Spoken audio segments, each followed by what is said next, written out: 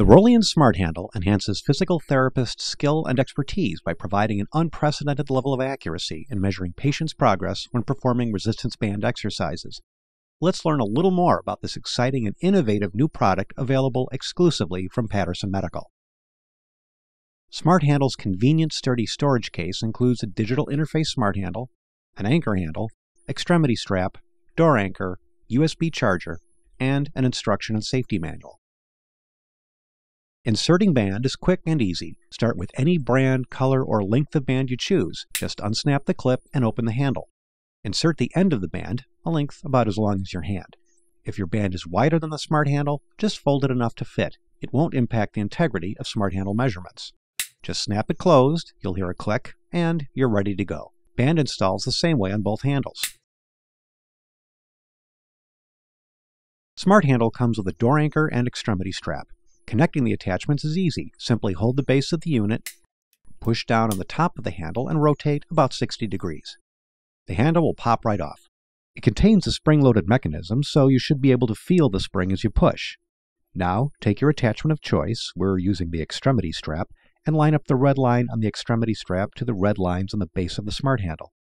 Insert the attachment by pushing down first, then rotating about 60 degrees until you feel it lock in place.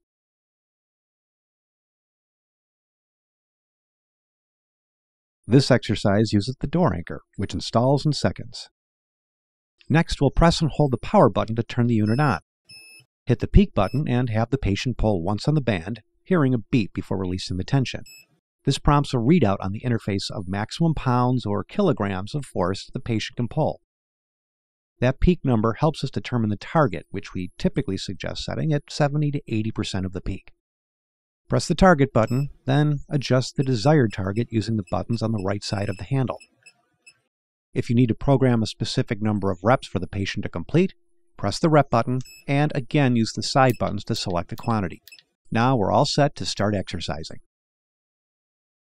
You'll notice the smart handle will beep once each time the target is hit, and since we've set the desired number of reps as well, the interface will count down until it hits zero, when the unit will beep twice to signify the reps were completed. Be sure the tension is released between each rep to ensure the smart handle is counting. If you don't need to program the number of reps, you only need to set the target and you're ready to go. For a hip abduction, we'll need to attach the extremity strap and door anchor, one to each handle. Next, loop the strap around the ankle and enter your settings. Again, we'll start the exercise and listen as the beeps occur to indicate the target force has been reached. Both the visual and audio cues help prevent overloading the tissue as the patient is exercising. To further enhance the therapist's effectiveness, Patterson Medical offers the Rolyan Smart Handle Pro, which offers Bluetooth transmission to run robust reports that include number of reps, target force, maximum force achieved, and overall average.